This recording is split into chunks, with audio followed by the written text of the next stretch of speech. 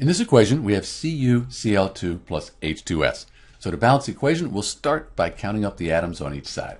We have one copper, two chlorine atoms, two hydrogens, and then just the one sulfur.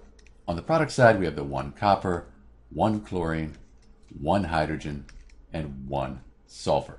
So that's what we have, and this is going to be pretty easy to balance. What we'll do is we'll put the coefficient. We can change the numbers in front but we can't change these little subscripts. So on HCl, we're going to put a 2 in front of the HCl. And this 2, it applies to everything. So I have 1 times the 2 for the hydrogen. That'll give me two hydrogen atoms. So these are the same, they're balanced. And then 1 for the chlorine times 2. That'll give me two chlorine atoms. And all of a sudden, everything on each side of the equation is the same. The equation is balanced. So remember, you can change the numbers in front. Right now, we consider them to be 1, although we don't write that. But you can change the numbers in front, the coefficients. But you can't change these little numbers here. These are called the subscripts. So that's the balance equation for CuCl2 plus H2S. This is Dr. B, and thanks for watching.